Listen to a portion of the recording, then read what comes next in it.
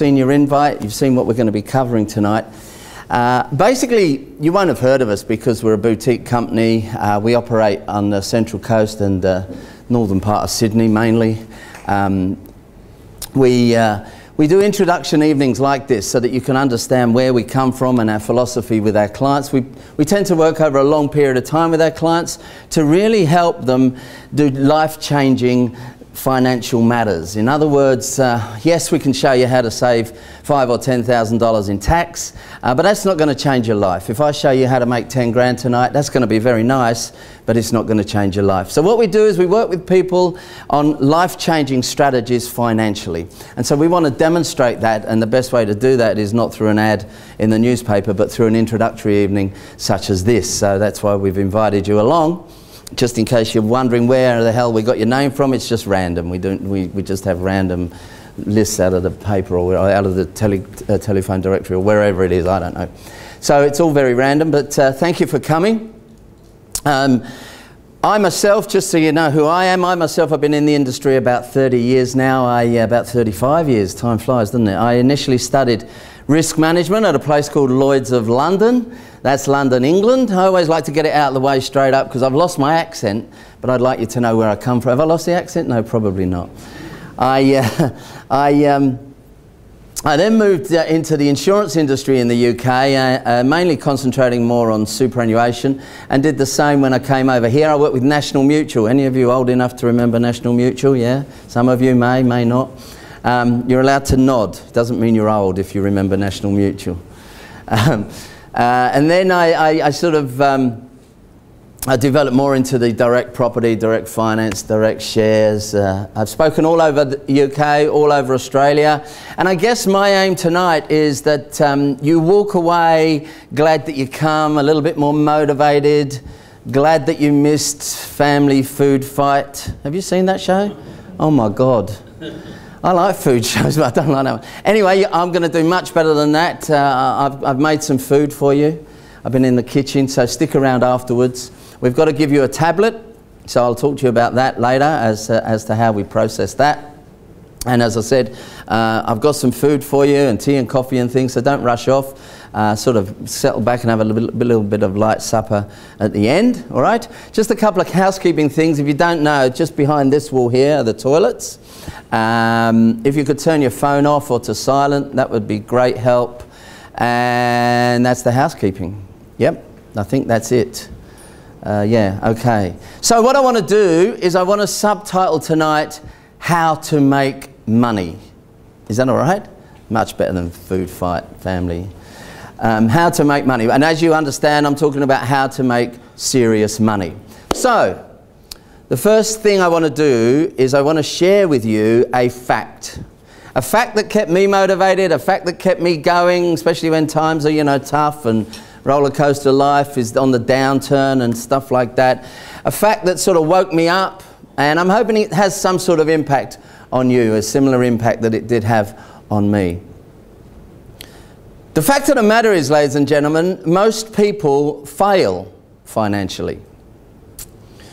Most people fail financially. I like to share that because that should shock you. And it should also, you know, lots and lots of people I meet feel that it's, you know, not going to happen to them or they probably not even woken up to planning ahead financially or, or whatever. It depends what stage in life you're at.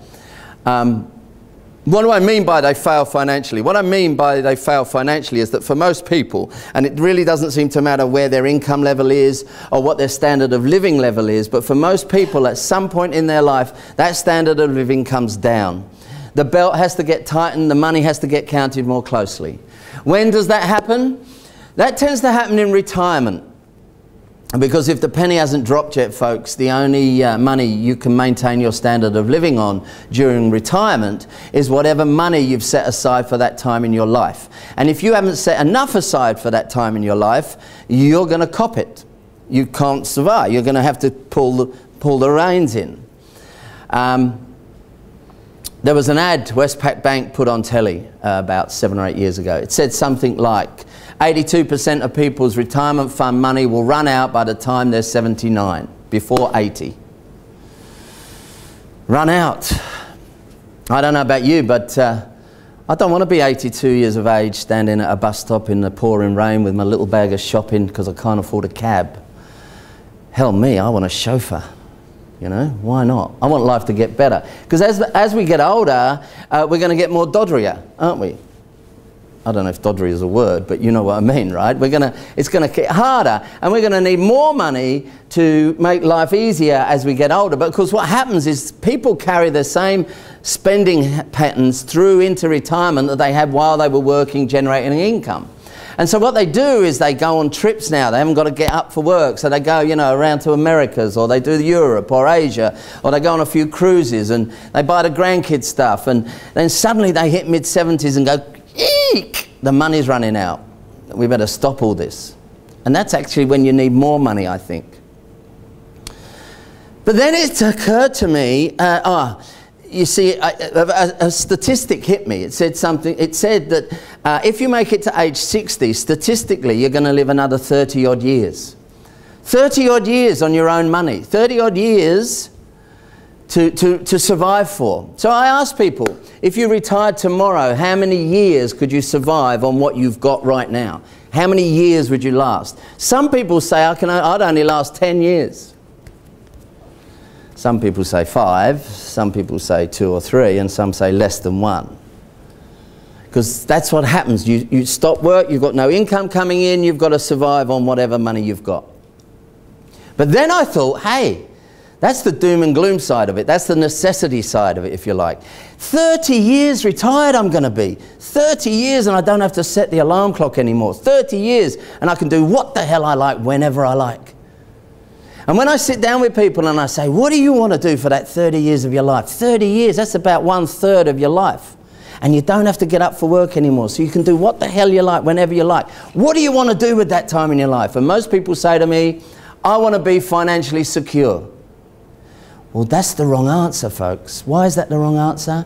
Because it's like how long's a piece of string? Financial security to some people means something different to others. And if you don't know specifically what you want, how the hell are you going to plan for it? Because planning is crucial. So, what we need to do, one of the first steps if we want to make serious money is take control of what we want out of life. Is to say to ourselves, what do we want? What do we want to do for like the longest holiday in your life? I'm going to go and do the Great Wall of China. I'm going to do base camp one at Everest.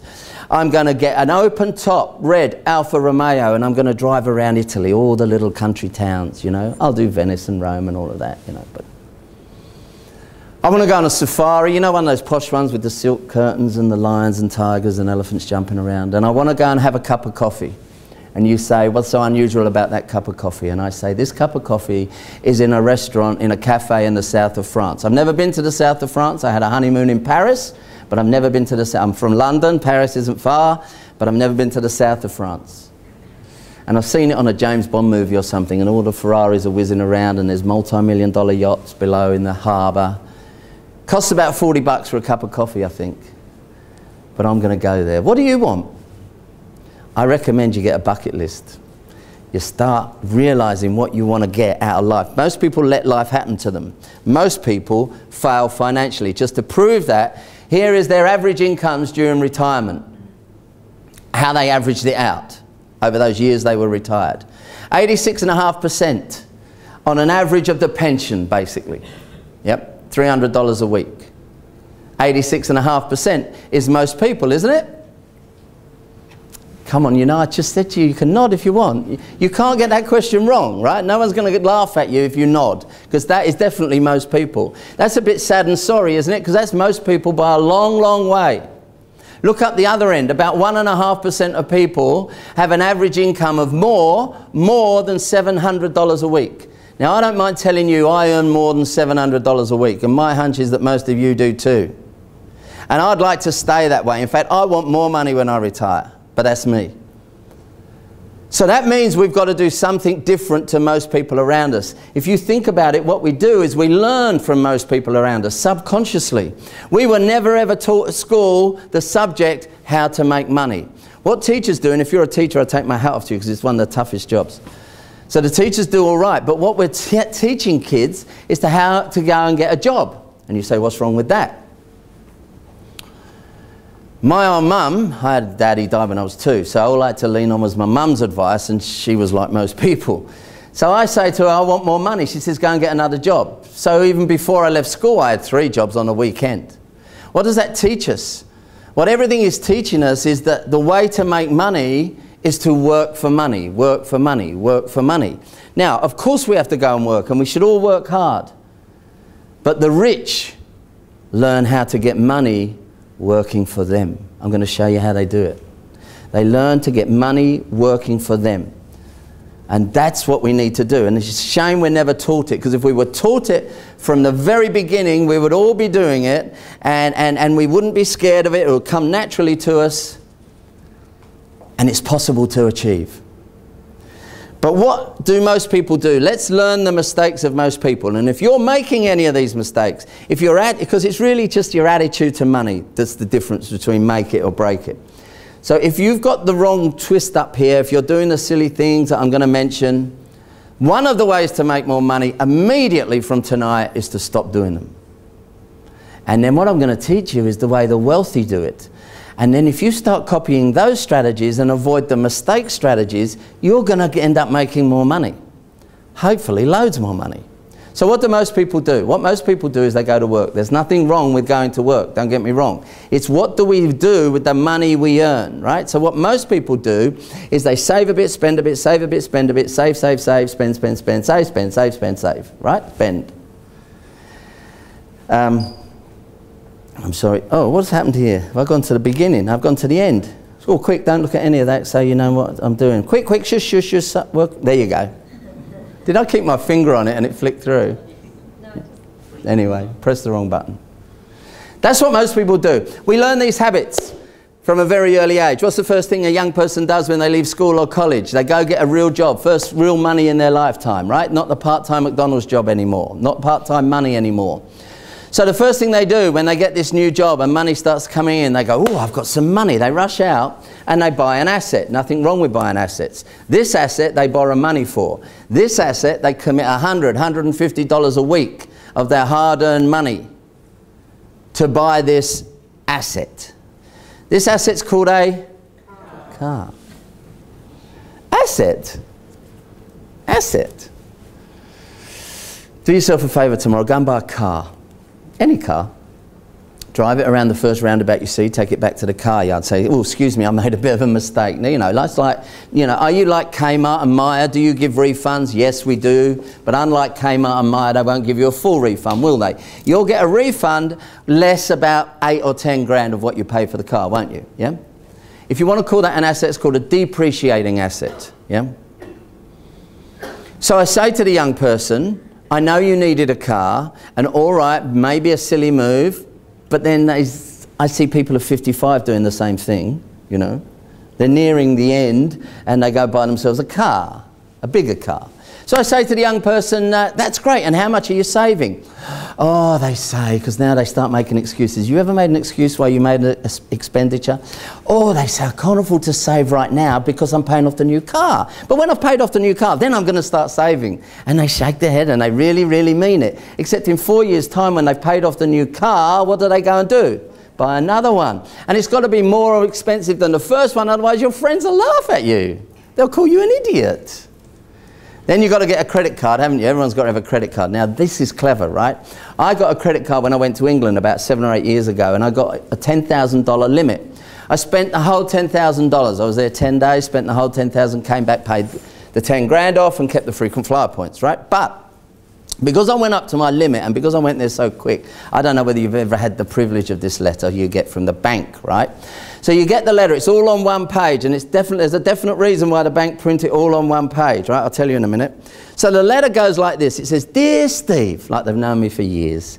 Noticed you've lost, gone up to your credit limit, Steve. Never mind, they say, because this happens in life. These things happen. Now, we're here to help you. We understand what you're going through, so we would like to offer you another $2,500 worth of credit. Now, the good news is, Steve, you don't have to prove you're working. We don't want proof of income. We don't want proof of health. You could be dead for a week here. Just sign the bottom of this page and quickly send it in.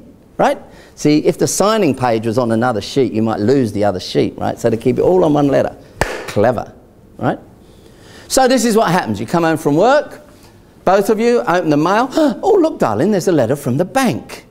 It says because we've gone up to our limit, they will offer us another two and a half thousand dollars worth of credit. We don't even have to. we don't even have to bother you've just lost your job. We can get another two and a half thousand dollars worth of credit. Oh, do you think we should? The other person says because you know we don't really need any more. It's, no, we're not going to spend it. no, it's there in case we need it in an emergency. Oh, is that? Yeah, we won't spend it. All right, quick sign. What happens within three months? They now are in 12 and a half grand's worth of debt instead of 10 grand, correct? So consequently, because of all those stupid things we do, we end up on a pension. Right? So what do the wealthy do? Well, they go to work too. Great. We've got to collect an income. What they do is they save, like everyone, instead of spending it, they invest it, and then what they do is they build a thing called an asset base so that they can retire wealthy one day with loads of money. Now, you didn't need to come here tonight, you could have watched Family Food Fight because you already knew that, right? But what I wanted to do is I wanted to concentrate on the word asset. We've just understood that certain assets aren't really assets. Like a car isn't an asset, your furniture isn't an asset. Why do they, when you fill out a loan application form, ask you what your furniture's worth? Why do they do that? And you proudly go, well, my fridge is worth $2,000 and that TV costs $12,000. You ain't going to get it in a garage sale, are you? So it ain't worth it. It just makes you feel better, I think. But they ain't assets, folks. They ain't assets. What do the wealthy consider assets? So, like maybe some of you, I've read up on what the wealthy do. Not how they make their money, that's interesting too. But what do they do with the money they make? Yeah? What do they do? So, I found this little book. Pardon me, excuse me. And I'm going to share some tips out of this book because this, this bloke is a multi-millionaire and he learnt from another multi-multi-millionaire, right? So they must be worth listening to because they've got more money than I have. But one of the things he did was describe his take on what an asset is. This book's called Rich Dad Poor Dad. Has anyone read it? Yeah, a couple of you? Or don't we put our hand up in Newcastle? Didn't you, did you not put your deodorant on? You've got to not worry about stuff like that. It's written by a guy called Robert Kiyosaki. Robert Kiyosaki had the benefit of learning from a rich dad and a poor dad. His own father was the head of a university head of a university, very clever guy, right? Really smart guy, has to be. Head of a university, he was on a six figure income, right? So, clever guy, earning loads of money. Robert Kiyosaki's dad did that, right? And he was the poor dad. You know why he was the poor dad? Don't let, don't let circumstances or what you see with people kid you because Lots of people with big houses have bigger and better debts than you, bigger and better mortgages, yeah? They drive flash cars, but they have bigger and better loans on those cars. They go to bigger and better restaurants, they buy bigger and better clothes, they have bigger and better holidays, their kids go to bigger and better schools with bigger and better school fees. That does not make them rich, does it? It means they've got a fantastic lifestyle, but if they don't protect it, that lifestyle is going to come crashing down really hard. A mate of mine bought a 180 grand Mercedes because his business was doing well. 18 months later, his business wasn't doing well and he had to sell the Mercedes. Obviously, he took a lease out on the whole thing. He sold the Mercedes for less than 100 grand. Still ends up owing that money. The other rest of it he's got to pay back. See, it's not flash, is it?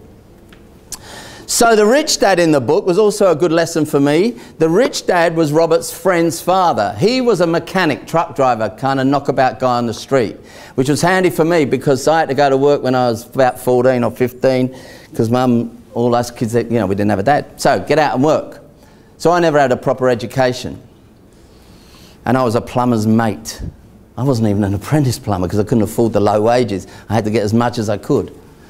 So learning that this guy was just a knockabout truck driver, mechanic type sort of guy, you know, great. And it might be some news for someone in this room. You don't have to be, have a good education and you don't have to have a high income. You just have to know how to use the money you've got, which I'll show you in a minute, all right? So Robert says to the rich guy, how'd you do it? So he says, and I really loved this when I read it, he said, look, I don't care whether you're a butcher, baker, candlestick maker, I don't care how you make your money, whether you're employed or self-employed, that doesn't mean anything. It's you're generating an income. It's what you do with the income you generate. So what you should do with the in income you generate is start a business. The business is called your asset base. You don't have any staff. You don't actually. It's not a business. You understand? Yeah. It's not a, like a shop or something. You've just got this going on behind the scenes. You get your money that you're making. You take some of that money first and you invest it, and then you spend what's left. What do most people do? They get their wages, they spend, and if there's anything left, then they'll save a bit, won't they? What happens at the end of most weeks or months? Mm, there's none left. Oh, we won't save then this week. We'll save next week. You Ever done that? No. Yeah, of course you have. I have. Um, so he says that's what you should do. You should go, get, go to work, get as much of your money as you can out of that, and start building a business called your assets. I like that concept. So what we're going to do is we're going to look at the smart. I'm going to teach you some smarts and safe way of building this business, stockpiling your assets. Yeah? Two mistakes people make. Please learn from their mistakes. Yeah? If you can't learn from their mistakes, it's, you know, you can learn from them, right? First mistake is people fail to plan. I promise you, I really promise you, I wasn't wasting your time telling you about my red open top Alfa Romeo, telling you about the cup of coffee I wanted. What I was trying to say to you is if you've got some visions about what you want out of life, get them going, get them going, get them to motivate you. I heard that lots of people hate the job that they do. But if you knew you were doing that job because what you've got is a business that you're creating so that you can go and do whatever it is the hell you want to do for 30 years of your life, that's more exciting now. You know why you're toddling off to this job in the, uh, early in the morning in the freezing cold or whatever. So you've got to have a plan. It also helps people like us help you to plan and strategize. If you've got a plan and a strategy, you feel much better. If you're just dancing around and letting the wind blow you around from tree to tree, you don't really feel so good. I'm not as good as if you've got, I know what I'm doing. I've got it all marked out now. The other thing is people never start. Of course, I can guarantee what will happen if you never start. That's the only guarantee, apart from death and taxes, I'll make today. I know you'll get this if you never start. You know that, right? Or maybe you started and you stopped. I met a guy a few years back. He comes up to me, starts telling me his story. He says he went to one of these 10 years ago. 10 years ago, he liked what the guy said, so he went and bought himself a property. Six months later, he liked it so much, he went and bought himself another one. I'm going, you're kidding. Two in six months, that's fantastic. I never heard anyone do it like that before. That's great. How many you got now? I've still got the two, he said. Oh, no, no. I said, how old are you? He says, I'm 52. I said, what do you earn? He said, 120 grand a year. I said, how much are the properties worth? He said, 500 grand each. I said, that's not enough. He said, mm, and the story's not that good either, Steve. He says, uh, I borrowed, I, I took the loans out on interest only loans, which is not a bad strategy. 250 grand each. I owe 250 grand on each property, so I owe 500 grand. So I said, you're worth a mill, you owe 500. I said, You're nowhere near enough. He said, Yeah, I know. It was lucky he shared the story with me because he wasn't going to do it. He thought he was, you know, well, at least I've got two. I'm doing it, he said. He's not doing it. He's just touching the edge. So I showed him what he has to do, and now he's getting a bit better off.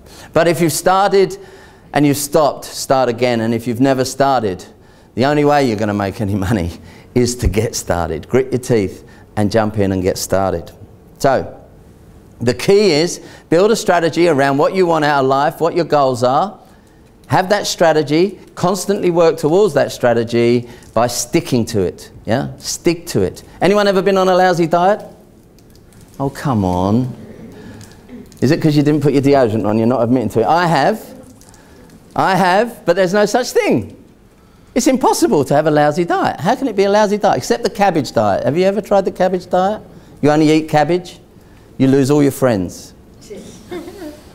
There's no such thing as a lousy diet. You know why? Because all it is is eat less energy than you ex excel, exude, whatever the words I'm looking for. Is. I've lost it.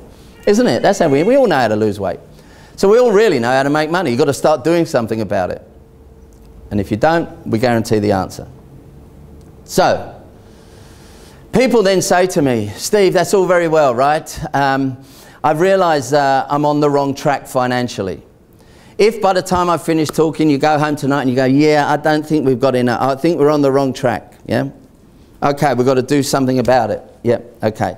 They then say to me, Steve, I've got to do something about it. But, Steve, in all honesty, you know, we've got uh, the governments over here, they don't know which way to go. We don't know what's happening. We might have Pauline Hanson running the country. I don't know. We've got Trumpy and the other guy with the hair. We've got, you know, the oil price, the coal price, the this price, the that price, price of fish, whatever, right? So, Steve, look, I'm a bit confused right now. I know I've got to do something, but when is the best time to start?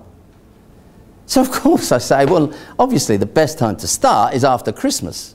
I mean, you can't do anything about your finances. You can't look after yourself before Christmas. That's just totally ridiculous because you're having Christmas at your place this year. You don't know whether it's a ham or a turkey. Should I buy some prawns? I've got Auntie Sally and Uncle Ben coming. They don't get on. I don't know what I'm going to do there. And little, little Millie, I bought her a present last year and it was totally wrong. It was, I, I just hated myself. I've got to buy her something better. And the Christmas lights don't work. And, and I've got to buy some wrapping paper. I can't look after myself financially.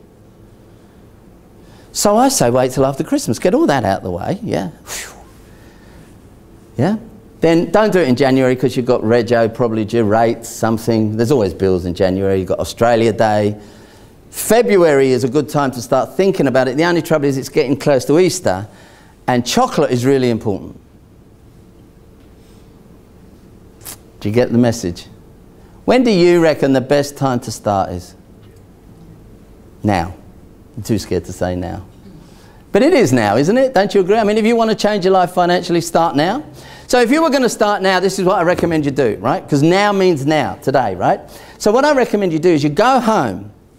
On the way home, you stop at the ATM, you get $100. You take the $100 home, you find a tin box, you put the $100 in the tin box and you slide it under the bed. Next week, you do the same again. And the same again. You do it for four weeks. You'll have $400 saved up. You could have started four weeks ago, Christmas or no Christmas. You would have $800 saved in your name under, in that tin box under the bed. So, if you haven't got enough money for your future, why don't you start saving today? There's really no excuse, is there? But we don't want to put it into a tin box under the bed. I mean, we could for the first few weeks, but then what are we going to do with it? We've got to find something solid. So what do these type of people, these multis, what do they do with their money? Where do they put their money? Well, they basically do this with it. It's no fancier than this. And your superannuation money is invested in exactly the same way. They put their money into cash in the bank, yeah? They buy some property and they buy some shares. Either way around, doesn't matter. That's it. The reason I mention that is because every week I, meet, I meet someone who wants to buck the system. They want to get fancy with it. They want to do something new. They want to try, you know, quick fix. I had a guy come to see me. I had a, a, a, a National Mutual office in Ringwood in Melbourne, if any of you know Melbourne at all, right? And uh, he comes and knocks on my door. You see, because we, within six months of operation, we were in the top 10 agents in the country. Not just for National Mutual, all agents. We'd done really, really well. So he comes, you get, your name gets passed around and people want to come and sell you stuff. So he's come knocking on my door. Sit down, I said, what have you got for me? So he goes, Steve, I heard you're doing really well. It's hard work, eh? I said, yes, it's hard work, but I don't care. He said, I've got the answer. I said, great. What is it? He said, well, you're a POM, ain't you? I said, yes, I am. He said, well, you won't have heard of it. It's going to be new to you. I said, that's okay. I'll accept it. What is it? He said, it's emus. Emus, I said. I have heard of emus, funnily enough. It's a bird thing with a neck, isn't it? And feathers and stuff. He said, yeah, yeah, yeah. Emus. I said, what the hell am I going to do with an emu? How am I going to make money out of an emu? He said, oh, no, no, no, no, no. He said, you don't have just one emu. I've got two emu chicks here. They're $6,000 each, right? And you're going to buy both of them. This is in 1989, right? You're going to buy both of them and they're going to fall in love, get married, have loads of baby emus. I said, what am I going to do with loads of baby emus? He said, we're going to sell the meat to the Japanese. They're going to love it. They're going to go crazy for emu sushi. So I said, oh, really?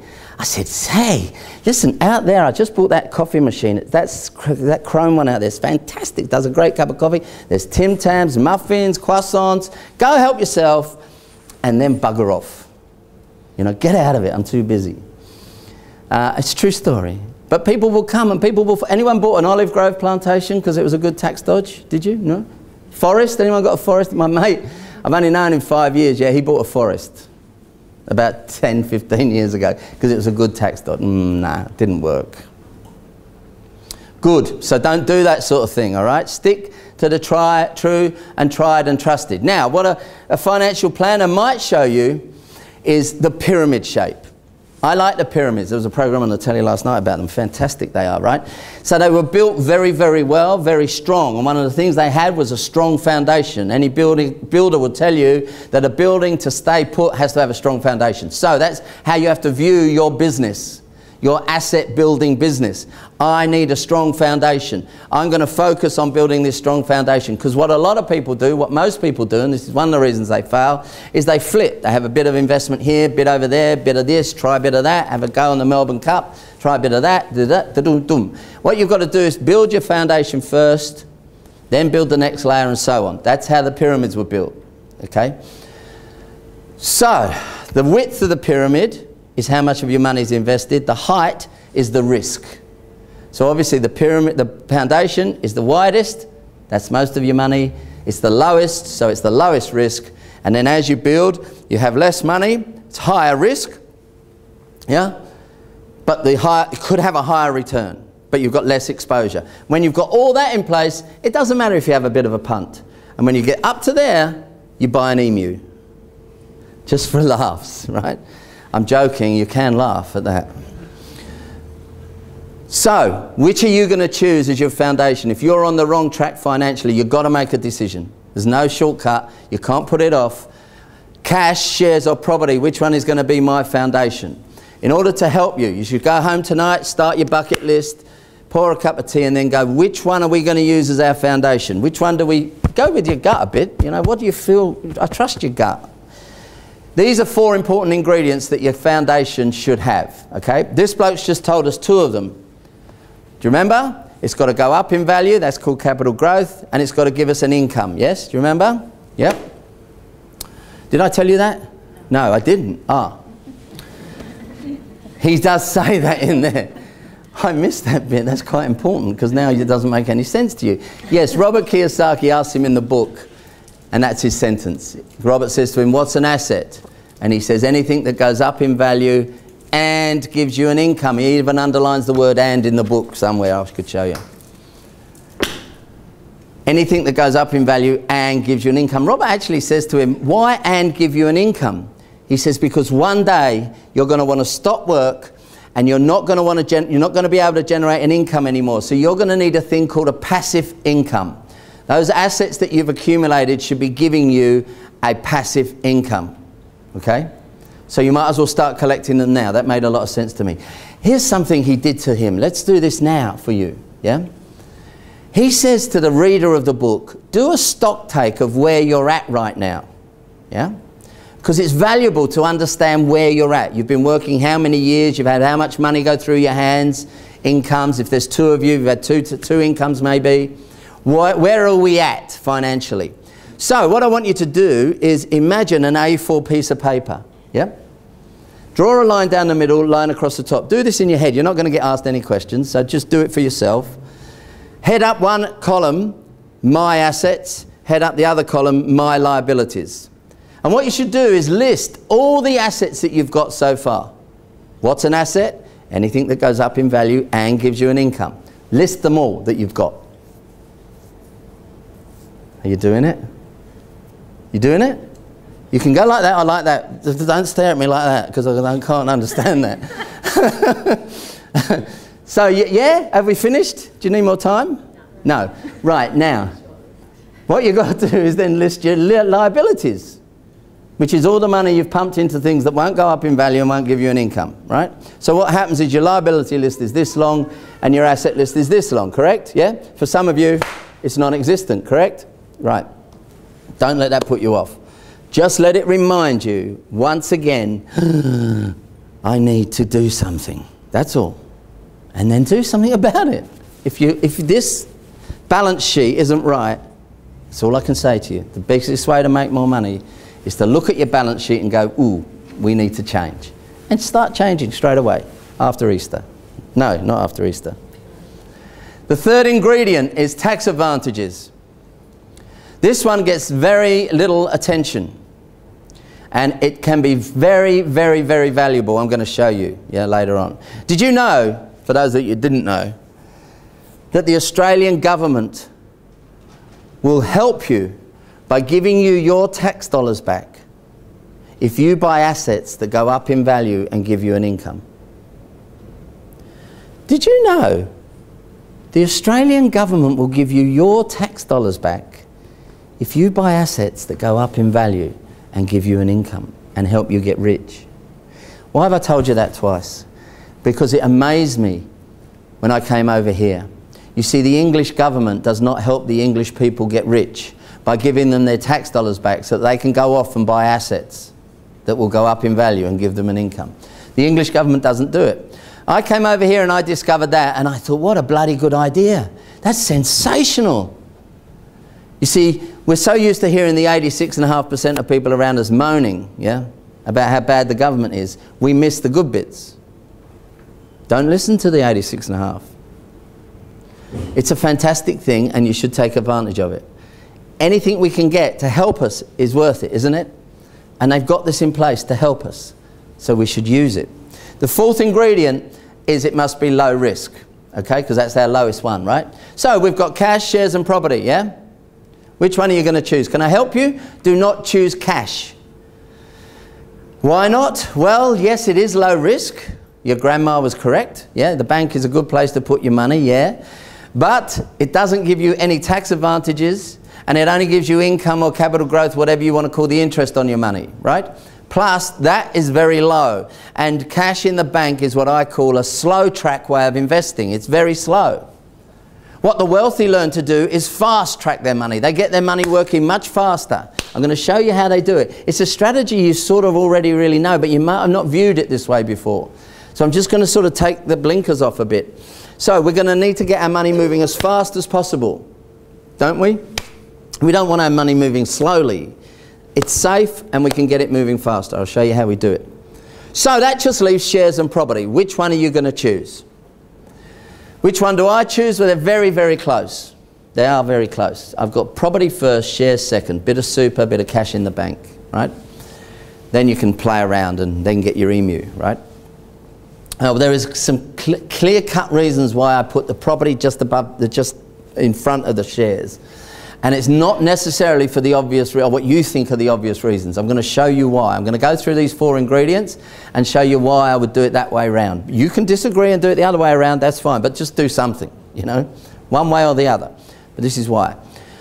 Capital growth, how did they fare? Shares and property. Well, here's a graph, went over the last 19 years. Um, shares did quite well, 12 point something percent as an average per year. That's pretty good. Property over the same period of time, oh, done it again. How did it go? Oh, not so well. Then why the hell are you recommending property if property shows less return than shares? Well, to be quite honest with you, if I was desperately trying to push something, I could have shown you a graph that showed property miles better than shares. Or I could have shown you a graph shares miles better than property. It just depends what time frame I chose. Yeah? I'm not trying to do that here. I'm just trying to give them a, you know, an equal fairness of opportunity. And to me, property from a capital growth point of view and shares are about the same. Shares perform like this, you keep them for 10 years and they'll perform. Property is erratic, yeah? Keep it for 10 years and it will perform. Simple, yeah? So to me, property and shares both get a tick. Income. Shares give income, I'm talking about the ASX 200, which is the top 200 companies, yes?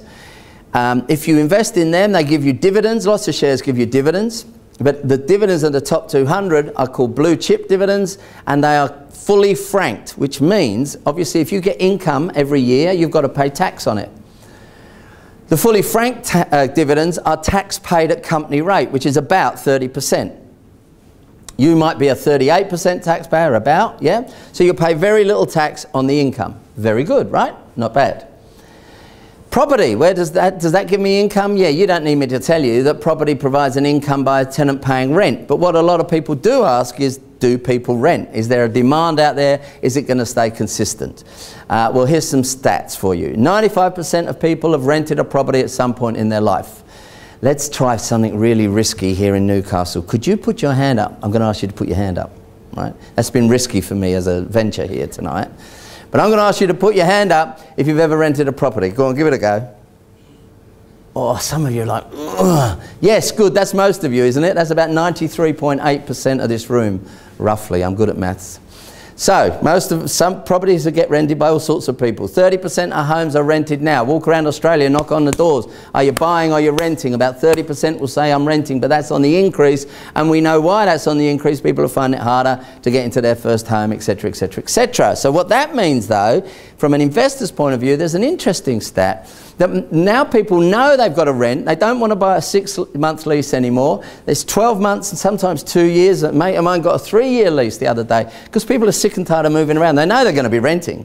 I don't want to keep changing house every six months. I want to st stay there. So they lock down with it and they make the place nice. And so they're good tenants. I know you only hear stories on 60 Minutes about bad tenants.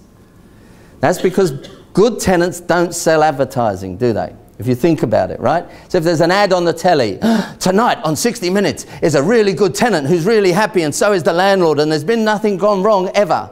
You must watch this.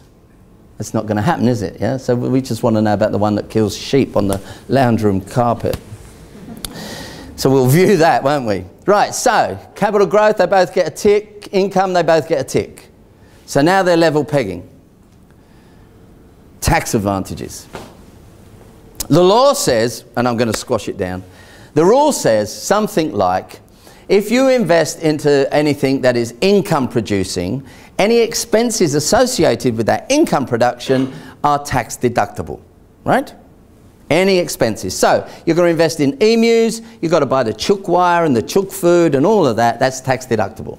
You invest in shares, are there any tax deductions? Well, maybe a bit of account keeping fees, there might be a bit of this and a bit of that.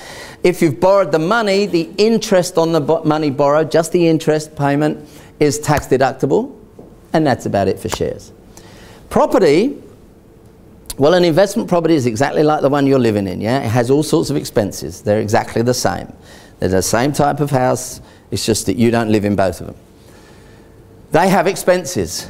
And are they tax deductible? So to answer that question for those of you that don't know, yes they are. And just so I've done a uh, slide here that shows you what's tax deductible. Doesn't show you every single thing, but it just recognises that yes, the rates are tax deductible, the insurances are tax deductible, the interest on the money borrowed, just the interest payment. That's why it's okay to go interest only loan because the principal payment isn't tax deductible. If you've got any extra money, don't pay it off your investment property. Get rid of your own home first. Get rid of your card debts. Get rid of your credit cards. Get rid of all that first because it's not tax deductible.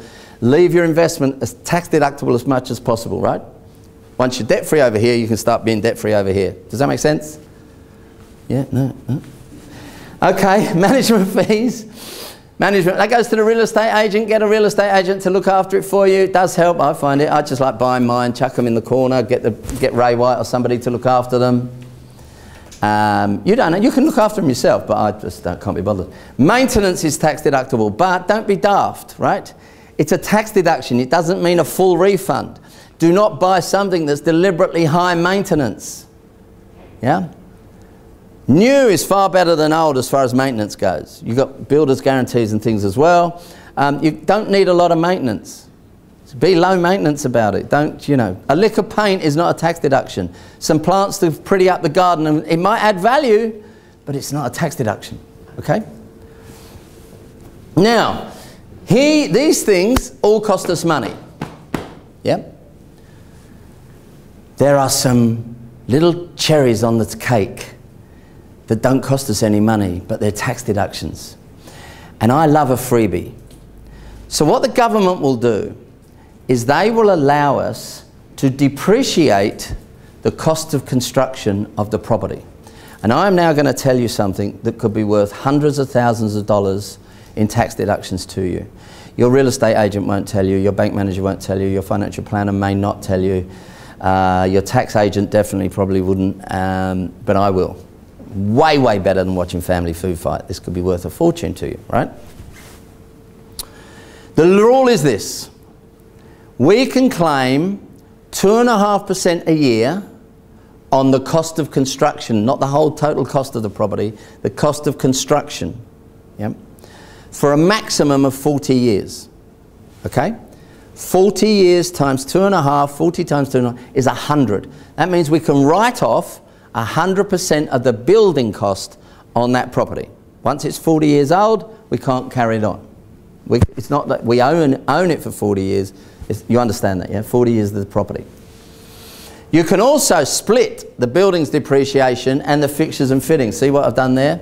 The carpets, the curtains, the air conditioning, etc. can be depreciated at a faster rate if, if it's beneficial to you. It may not be. So we have to help you decide that. But anyway, let's go back to the 2.5% to keep life easy. You've got it, 2.5% on the cost of construction for a maximum of 40 years. Yeah, we got that? Please nod. Right. Here's an example. You have decided with your partner that you're going to go and buy a property. You've narrowed it down to two properties just down the road here. One is in Robertson Drive and the other's just round the corner in Smith Street. You know where I mean, don't you? No, I made that up, right? Right. So, they are both worth, because I can do the maths, $400,000 each. Yes? They are both in the same area and the same type of house. So capital growth, remember our four checklists? The capital growth, yeah, is going to be exactly the same. Because they're the same type of house, the rent is going to be exactly the same. So tick, tick. Got me? The one in Robertson Drive is brand new just finished on the weekend. The Smith Street one is 20 years old. Okay? But here's some other very, very, very important things you need to know about Smith Street. I try, I, it's not too technical, but try and remember it all, right? So, Smith Street is 20 years old. Around the fence line is a beautiful white, freshly painted picket fence. It's beautiful.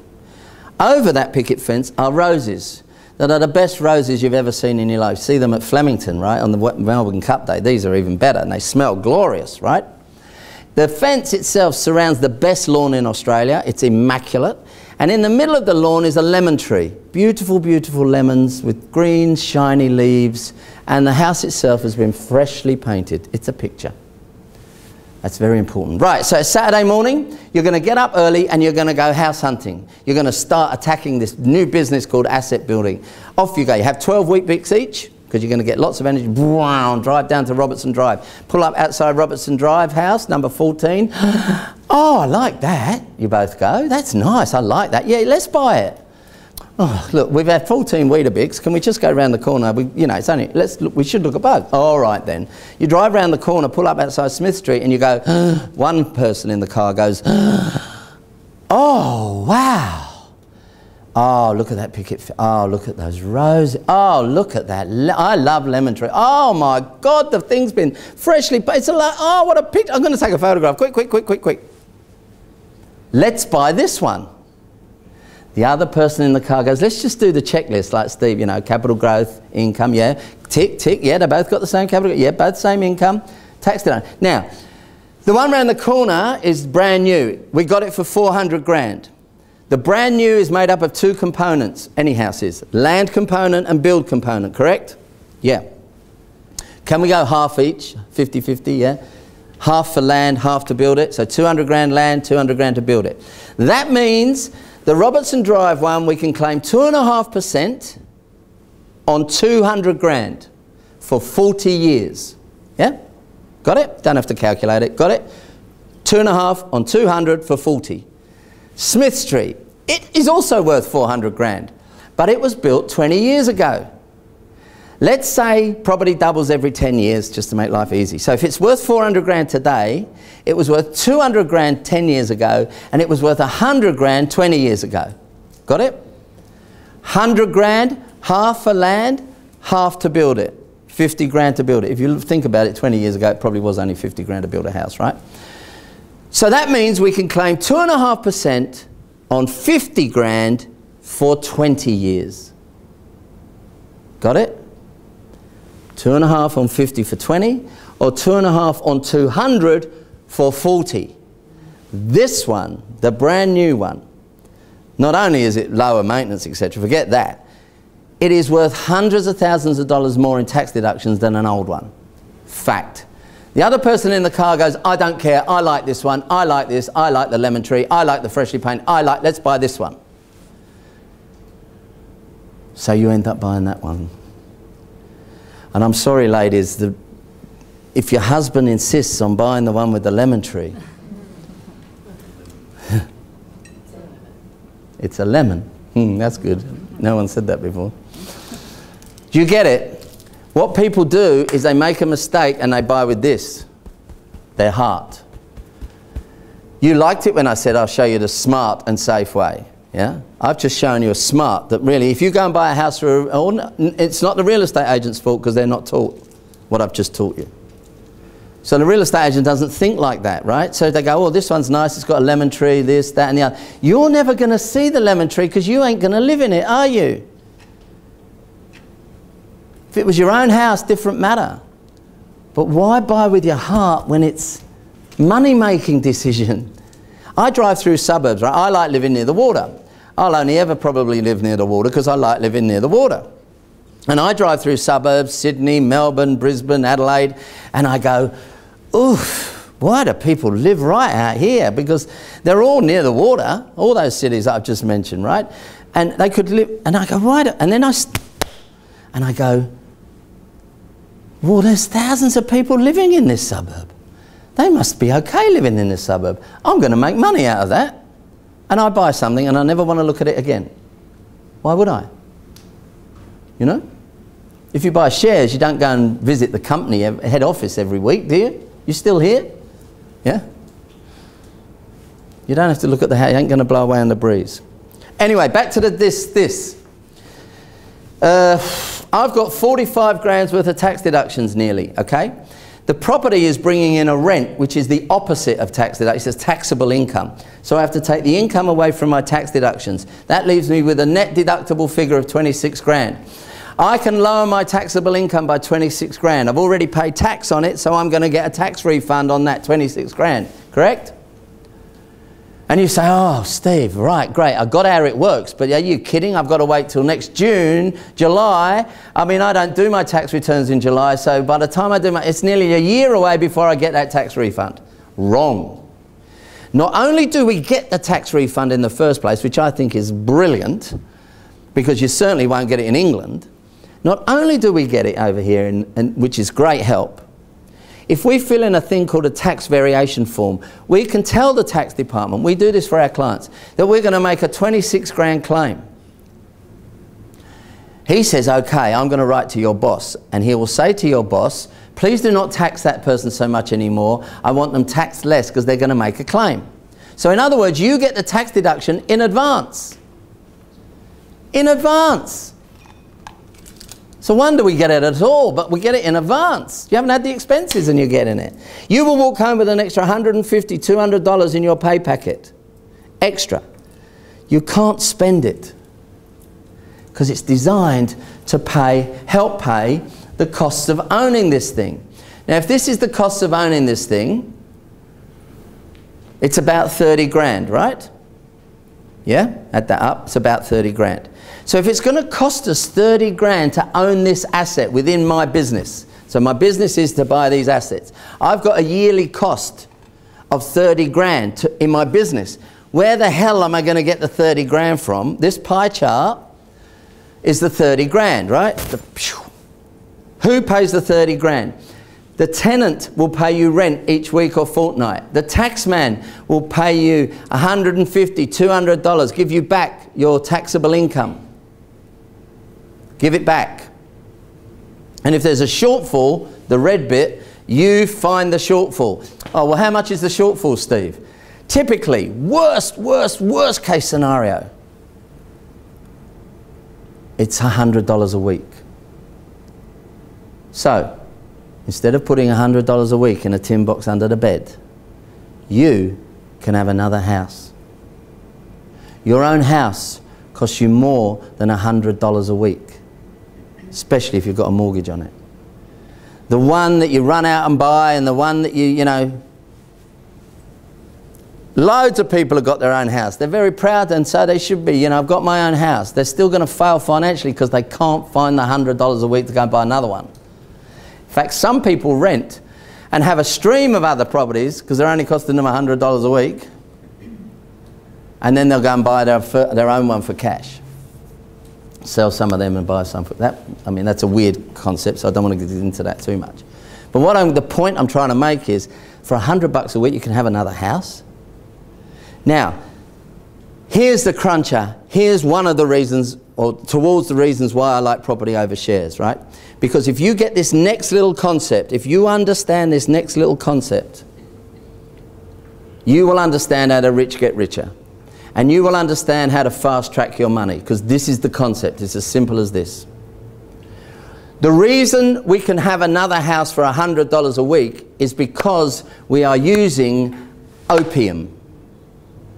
Not opium, OPM, other people's money. This is the cruncher. The more opium you can use, the quicker your portfolio will grow. We've got to be opium users. I'm being recorded here. You understand what I'm saying? Other people's. Who in this situation is the other people? The tenant and the taxman. Because until you started this, this strategy, you were happy to just let your tax go down the, well, not down the drain, but to the taxman. Half of it goes down the drain. Um, now you're getting it back. And you're getting some other guy called the tenant giving you money. And you are buying this asset. So what you're doing is you're using a small amount of your money to gain a much larger asset, right? Let me show you. If we are using $100, which is $5,000 a year roughly, yeah? We are gearing that up to a 400 grand asset. Now, here's one thing I like about property. I know, because statistics tell me, and I've lived long enough to see it happen for myself, to not have to argue with myself about this. So I'm suggesting you don't either because you know I'm right. Property will double in value every seven to ten years. Right? I know it will, in any decent area. I can show you lots of areas that won't double, so we avoid them like the plague. But there's plenty more, there's more areas that will double than areas that won't double, quite frankly. So I know if this is my strategy, I'm going to find myself $100 a week. This is my business, yeah? Whether it's the fifth, tenth, twentieth element of my business or the first element. What I'm going to do is I'm going to find $100 a week. I'm going to get this thing for 400 grand. The way I'm going to do it is I'm going to use somebody else's opium. Whose opium do I use? The banks, right? That's what they're in business for. They supply funds so that people can borrow the money and they live off the interest, right? That's how they make money. So we can use their money. The bit you need to understand is the more opium you can safely get, yeah, safely and comfortably, it has to be comfortable for you, the more money you're going to make. Because when this thing doubles in value in 10 years, it's going to be worth 800 grand. My strategy is to sell it in 10 years' time. So in 10 years' time from today, I'm going to sell it. I still owe the bank the 400 because I had it on an interest-only loan. I pay back the bank 400 and I keep what's left. Now there's a Mr. Negative in the room, right? He's got negative stuff going through his head. I'm going to deal with you in a minute, Mr. Negative, all right? Don't worry, I'll answer your negatives, okay? A couple of them anyway. But getting back to my business, let's go one step at a time, Mr. Negative, yeah? I put $100 a week into my business, five grand a year. I did it for 10 years, which means into my business I contributed $50,000 over a 10 year period and I turned it into 400 grand. That's it. That's how it works. Now, if you understand that you can see that if I can get the bank's money working for me and I can use other people's money, like the tenant and the taxman, to pay for the cost of the bank's money, yep, that's how I'm going to make money. I've turned 50 into 400. So, it's called gearing, as you can see. You've heard, some of you have heard the phrase and probably never really understood, well, you know, it's just a word, you know. But you're gearing or leveraging up your money. That's the way to fast track your money. Do you think Richard Branson uses his own money when he wants another jumbo jet? No, he uses the bank's money. Developers who develop, you know, real, you know, uh, townhouses or, or, or high rises or shopping centres. They use the bank's money. They just know how to manage it. So all you have to do is understand if you buy this thing, I don't care what it looks like, yeah, you just have to understand the money management of it. And if it boils down to you having to contribute 100 and you're comfortable with the 100, go get the 400 grand. So, if the bottom line is we want 400 grand working for us, this is one reason, I, another reason I like property. You walk into the bank, I've got to get 400 grand from the bank manager. I've got to get 400 grand. Mr. Bank Manager, I want to borrow 400 grand. He says, What do you want to borrow it for? I say, I want to buy some emus. He goes, What? Get out of here, you idiot, right? You go in the next day, Mr. Bank Manager, I want 400 grand. What for? I want to buy some shares. Oh, he goes, I don't mind shares. Um, let me ask you, how much are you contributing to this venture? Oh, I'm, I'm putting in $100 a week. Mm, that's five grand a year. Okay, I'll give you 10. He'll give you two to one. So now you managed to gear up to 10 grand. Wasn't the goal. The goal was 400 grand. Mr. Bank Manager, I want to borrow, for, what for? I want to buy a property. Oh, he says, come this way. Uh, please sit here. Can I shine your shoes? Would you like a tea or coffee? Would you like some muffins, Tim Tams, croissants? Because you see, the fact of the matter is, they will lend much more money against the security of property than they will the security of a share portfolio. So if your aim is to gear up as comfortably as possible, you want as much money working for you, you choose property over shares because that's what the banks do. They make billions, don't they? They have a bigger loan book on property than they do on shares. Fact, go ask them. So if they do it that way around, I sure as hell ain't going to break the wheel. I'm going to copy them. And that's why I suggest it.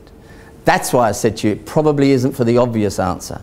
It's just simply I can gear higher with property than I can with shares. Okay?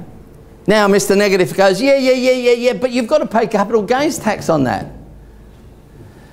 Let me just address this tax thing because this is how most people think. Is that a negative to not do it? I don't think so, is it? I mean, let me explain something to you about tax. I want to offer you all a job. Yeah? You're going to get this job and you can start as soon as you want, right? The job is well within your capabilities, you can do it, and it pays $360,000 a year. Would you take the job? I only got one nod then, two nods. You wouldn't take the job or we're not playing the game? You would take the job, wouldn't you? Yeah. The catch is this, the tax is $145,000. Would you still take the job? Yeah. Yes, you're going to have to pay capital gains tax on that. Of course you are. We have to pay tax on money we make. But it's on half the gain, 200 grand. Half the gain at your marginal rate of tax at time of selling. So if you sell at a low marginal tax rate, you ain't going to pay much tax, are you? Maybe pay 60, 80 grand in tax. Would you still not do it? Isn't it better to make the 400 and pay the tax than not make the 400? Here's something that I know about lots of people, right? Lots of people can find the $100 a week. So over a 10 year period, you'd find your 50 grand. Would you ever, ever, over a 10 year period, save $400,000? So, if you don't, you've got two choices, you see. In this money making business, you've got two choices. You are either going to decide you are going to gear, even if it's scary, you're going to grit your teeth. I'm going to gear, I'm going to get some OPM. Or you're not going to gear. Because you can't half gear, can you? You're either going to do it or you're not going to do it. It's like you can't be half pregnant. You've got to do the whole hog or nothing, right?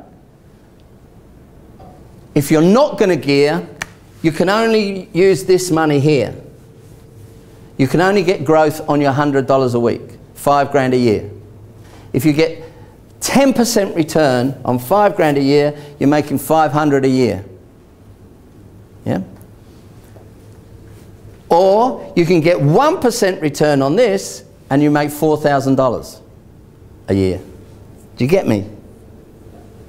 I mean, very simplistic with the maths there, but that's how it works. Leveraging your money, you must make more money. Okay? Now, is it $100? Do I even have to find the $100? Here's a real example. This is a couple I can't name them obviously. We found them a, a, a what's called a dual occupancy. It's sort of like a, like a duplexy thing. It cost 539 grand. They had $25,000 worth of purchase costs like stamp duty, legal fees, etc. Right? So they needed a total of 564,000. How much of that could we get from the bank? All of it, 100% geared. Yeah? No deposit. I'll show you later how we can do that. I'll tell you another time. The rate, let's say it was 4.8. You can get cheaper than that, I know. So again, I'm going over the top here with my projection. Their rate of tax was 38%. The property provided us with $550 a week rent, yes? The interest on the money borrowed is 27 grand. The property expenses are 7 grand. You know, the maintenance, the rates, blah, blah, blah. That's a total of 34 grand nearly, which is $650 a week. We're getting 550 a week, so we're $100 short. But the tax man wants to chip in. So at 38%, we got 7 grand a year back from the tax man, which is 133. We only needed 100. We're $33 positive each week. He's got more money coming in after he went and bought the house than he has went before he bought the house. Doesn't have to be $100 if you buy correctly. Yeah? Now, the other source of money that you may or may not have, and we can do all of what I've just described with your superannuation money, maybe if you've got enough. But let me just share it for those of you in the room that might be able to take advantage of this. You can now run your own thing called a self managed superannuation fund, SMSF, self managed super fund. You set up your self-managed super fund and that can be owned by a maximum of four people, okay? All four people contribute into that fund, can be just one of you, can be two of you, can be four of you. You contribute into that fund with your super money that's sitting there with AMP or whoever it is. I'm not bagging AMP, I'm bagging, you know, I'm not even bagging anyone, but you're not happy with what's happening there. You, can, you can't leverage your money in a super fund if it's AMPs looking after it, can you? You're only going to ever get growth on your own money, right? So what this allows you to do is leverage your money. You need a minimum of about 180 grand. The reason being is the bank will not lend you 100, they will not gear 100% in a super fund. They'll only lend you about 70%, okay? So you need a bigger deposit. Whatever your proportion of your money goes into that super fund is always yours. So if you team up with your brother and his wife and then you fall out and they want to kill you, they cannot touch your money, right? Because whatever your proportion is in the fund, it always stays your proportion. So that's why I like it. But it allows you to leverage. Lots and lots of people are turning from normal superannuation into self-managed super funds for what leveraging is one of the key reasons, okay? It gives you control. So now you know what that money is doing. Yeah. Um, you, you, don't necessarily, if you've got, um, it gives you consolidation too. If you've got more than one super fund, which loads of people have, you've got lots of, four times the fees, four times the insurances probably. And, and, and you're not in control of that. So it, it allows you to have enough insurance. There was an article in the paper today saying loads of people, particularly as we get older, we're over-insured. Um, we don't need so much insurance, but there's, there's, always a standard amount of insurance that's usually taken out in an industry super fund. It gives you the ability to leverage, so you can borrow and you have more than just your money working for you. You've got that concept now, haven't you? Okay. At the age of 60, you've got two choices. You can sell it or keep it. If you sell it, there is no capital gains tax. Okay. Or if you keep it, there is no tax on the rent. So it's tax-free income. Okay. So it's quite a good option, isn't it? Um, the past 16 years, SMSFs have performed at an average rate of 9%, industry is about 5%. So there's a very good reason that if you've got enough money or you can team up with other people and you can get enough together, it's got to be worth investigating. So at least investigate it, if nothing else, okay? So where to from here? People say to me, Steve, if it's this good, yeah? If it means I don't even have to find $100, I might be positively geared rather than negatively. People often ask me, they say, so why isn't everybody doing it, Steve? First thing I say to them is, why are you worried about everybody? 86.5% of them are going down the tubes. Only worry about yourself ever. You know, I mean, we all care about other people, but, you know, financially. Look after yourself first. Secondly, I tell them the fact is the reason why most people aren't doing it is fear. There is a fear element. It means borrowing another half a million dollars. I'm nearly debt free. You come along to an evening like this, you say, I don't want to watch Family Food Fight tonight. I'm going to go and watch this Pommy guy. And this Pommy guy says to you, come here, pss, pss, pss, you know how to make loads of money? Go borrow another half a million. And you go, Are you nuts? I can't stand the borrowing. Because we're sort of fearful of this debt situation and we're not sure if we're in control. So I just wanted to finish with a brilliant strategy to show you and how to be in control, okay, of the bank's OPM. Let me just get this going here. Right. First thing I want to do, first thing I want to do is um, I want to talk about mortgages because most of you have got a mortgage, I'm assuming, right? So let's just use a 100 grand mortgage. Say we've got a mortgage taken out for 20 years and it's $100,000, right? You repay back the bank, just to keep figures round, $1,000 per month, which is 12 grand a year. Now, if you pay back the bank 12 grand a year for 20 years, how much have you repaid to the bank? Correct, $240,000, right? You all knew, didn't you, that you paid back the bank a lot more than you borrowed? Did you all know that? Yeah. Yeah, we all laugh about that. I still remember, I bought my first house when I was 21, and I still remember the annual summary. I thought I must have paid a whack off. I ended up paying about $500 off, and you've been paying a, thousand bucks a month. You think, how's that? Anyway, one of the first things we've got to do, if you've got any debt, mortgage, car, credit cards, we've got to kind of manage that because it's not tax deductible and it's very, very expensive, even the mortgages, right? So we want to help you get rid of that mortgage really quickly. Now, a lot of people are paying their mortgage back weekly or fortnightly to get rid of it quickly. Anyone doing that? Yep, great, good. Let me explain. Fortnightly payments work. The most obvious reason why it works is you're making 24 uh, fortnightly payments instead of 12 monthly payments. Okay, so you're making um, extra payment. 26, sorry, yeah, 26 fortnightly payments and 12, I've lost my maths there, 12 monthly payments, right? You know what I mean. So you're making extra payments there. But the other reason it works is sort of a technical one. It's all based on how the interest is charged on your mortgage. The interest is charged on the daily balance. So each day, your com the computer, the bank's computer, goes into your mortgage and says, how much do you owe today? And it charges you one day's worth of interest right? Adds it up, charges it out monthly. So, if you make a payment halfway through the month, you are lowering the daily balance, aren't you? You've made a payment, yeah?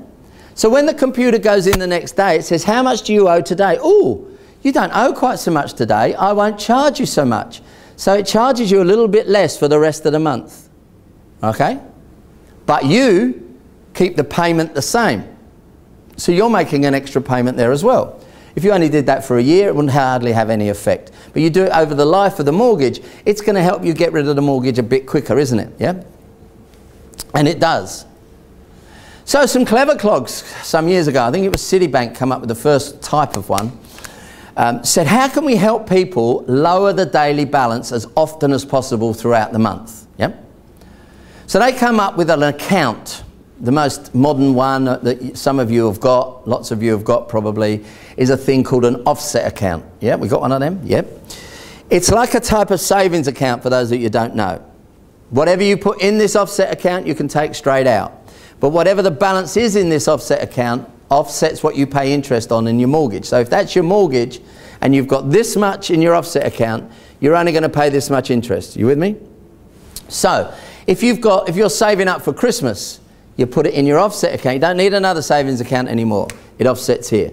If you're self-employed hairdresser and you've got cash money coming in each day and you need that money to buy hairspray at the end of the month, you save it in this account, it offsets, yeah? What if you're not self-employed and got cash? What if you're not saving for Christmas? What if you just, you know, run out of money each month or week? What can you do? Can you take advantage of this? Yes, you can. Let me just show you. I'm going to assume that you and your partner get paid monthly and you bring home $1,000 a month between you, okay? So 4,000, sorry, $4,000 a month, $1,000 a week. So what we do is when we get our four grand, we pay it into our mortgage and we're going to reduce the daily balance to 96 grand, correct? Yep. You say, fantastic. But how the hell, Steve, are we going to eat if I'm putting all my wages into my savings account? So I've got a solution. Cracker biscuits and water. no, it's a credit card right? I've talked about credit cards, I've bagged them, but if we use them correctly, we can use the credit card company's money to make us money. What we do is we live on the credit card company's money, okay? We do our tap and go, tap and go, tap and go. You need very little cash nowadays. You need a cash for a newspaper, a bit of this, but even a coffee now you can just tap and go, can't you? So you keep as much of your money in the offset account, all right? At the end of the month, the, you must not go stupid with the credit card. Obviously, don't go buy a racehorse or something with it, right? So you, got, you do your normal spending. Now, we needed $1,000 for the mortgage, remember? And we spend the other 3000 The credit card bill comes in. We take the three grand out of here. The balance will go up to 99,000. We completely swipe the credit card. No sort of part payments anymore, you know, no minimum payments anymore. Get that out of your vocabulary. We're going to wipe the credit card. We live on the credit card company's money interest free for a month. Get some frequent flyer points as well. Little bonus, right? People come up to me and say, Steve, you forgot to mention the flyer points. So I've started to remember now. Now, this is at the end of the month. What happens at the end of the month? The very same day or the very next day, our four grand comes in, balance is down to 95 grand, and so on. Got it? So we start at 100, we want to end up at zero. The balance is going to zigzag on its way down. It will come down much faster, much faster. Typical circumstances, normal incomes, normal expenditure. This 20-year mortgage could be gone in half the time. Half the time. How much was it going to cost us to pay that mortgage back? 240 grand, remember? I've just shown you a way of paying it off in half the time, haven't I? And psst, come here. It works. It works. So go do it after Easter. no, tomorrow. But, because all this is about human elements, right? I've just shown you a way of paying off your mortgage in half the time, and you can do that, right?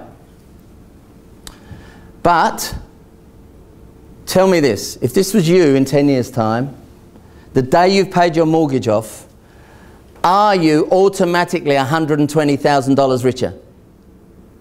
You're not, are you? It just means you don't need the mortgage payment next month, doesn't it? It's 10 years early, so of course you're not. Yeah, exactly. So the only way you can become 120 grand richer is next month you save your mortgage payment and you save your mortgage payment every month for 10 years and then you'll have the 120 grand, won't you? You are not automatically richer just because you got rid of your mortgage. What do most people do the next month when they go, oh, we don't have to pay our mortgage this month? What are they going to do with that grand? Go spend, spend it. We need a holiday. We need a new car. We need a new telly. So what we've learned is that's the fool's way of doing it.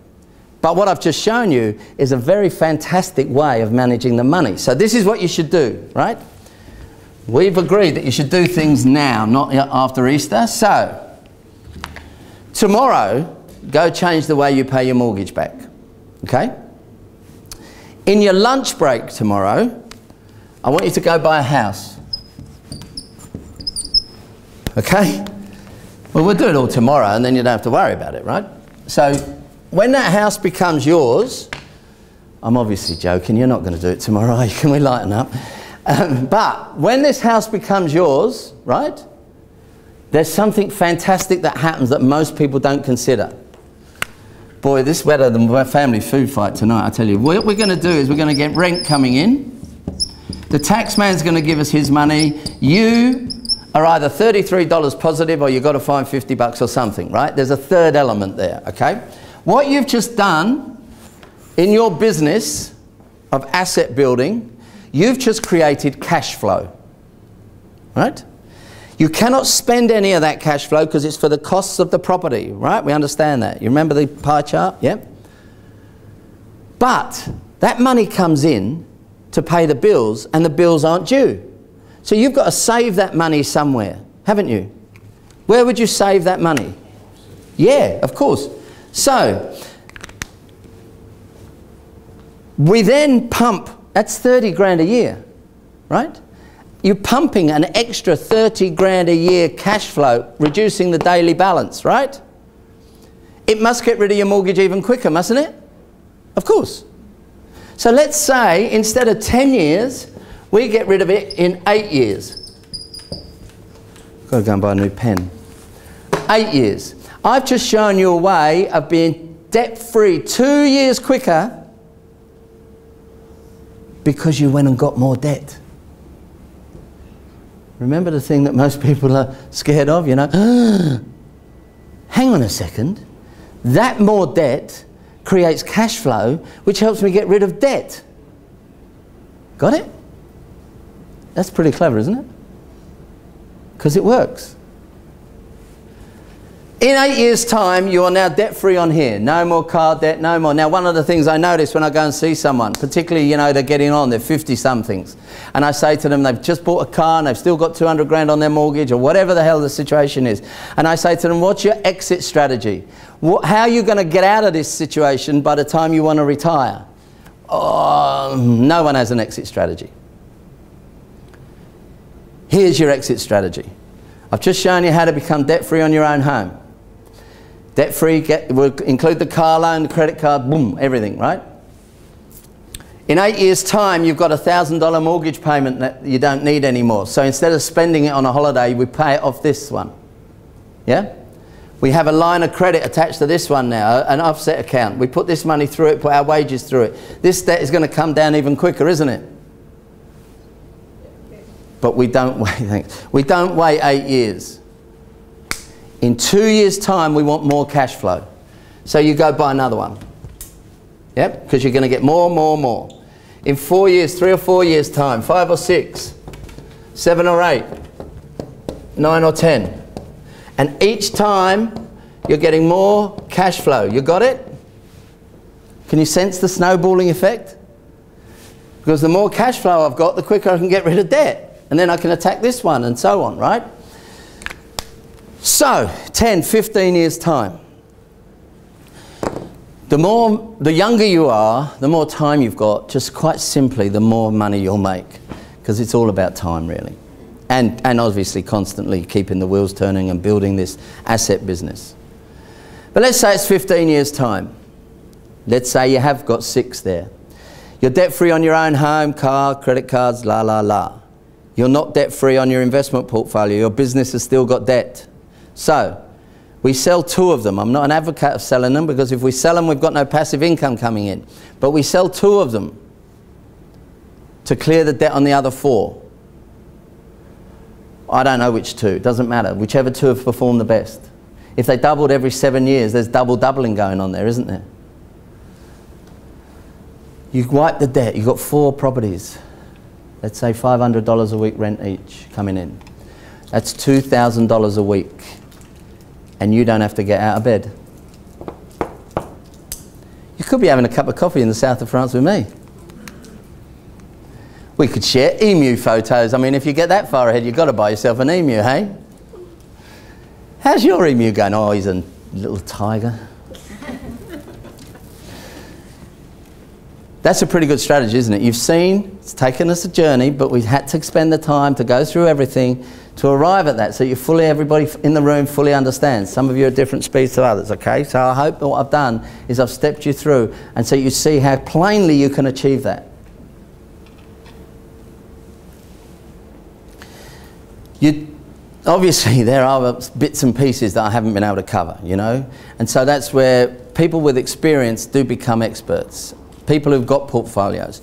Jackie, you met Jackie on the way in. She's the director of Unlock Your Financial Future. She, she won't mind me telling you, it's, she gets a bit embarrassed about it, but she bought 10 last year. Right? That's someone you can listen to, you know? I've got, I've, I've got properties in England, let alone over here, you know.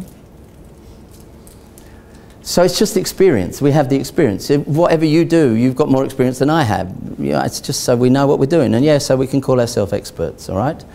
How do we help you? Well, we have our process. It starts with this evening, with me going through things, showing you how it works, all right?